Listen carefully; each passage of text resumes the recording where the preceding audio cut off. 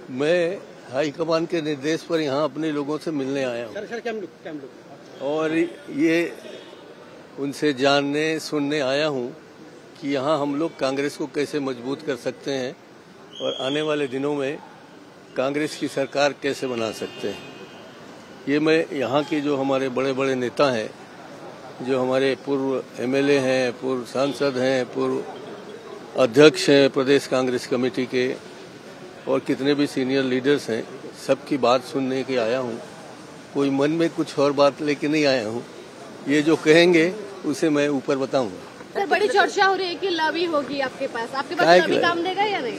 हमारे पास कोई लाभी काम नहीं देता। हम बिना लाभी के आदमी हैं। कब तक कब तक रिपोर्ट देंगे आप? मतलब कब तक देखिए तेरह तक तो और बीस तक इलेक्शन है। हम रिपोर्ट देंगे भी तो पढ़ेंगे नहीं। तो अभी तो आराम से इनसे मिलकर रिपोर्ट बनाएँगे। और तेईस तारीख के रिज़ल्ट होने के बाद हाईकमान से चर्चा होगी बात करेंगे वो और कहेंगे कि और जाओ तो और आएँगे तो चलता रहेगा। ये तो हमारा हम पड़ोसी हैं आपके रिश्तेदारी भी है। बड़े चर्चे में है रेस में है पीसीसी प्रेसिडेंट के हर बार होती है हमारे यहाँ भी होती है यहाँ भी होती है। चिंता की कोई बात नहीं। थैंक यू जी? जी?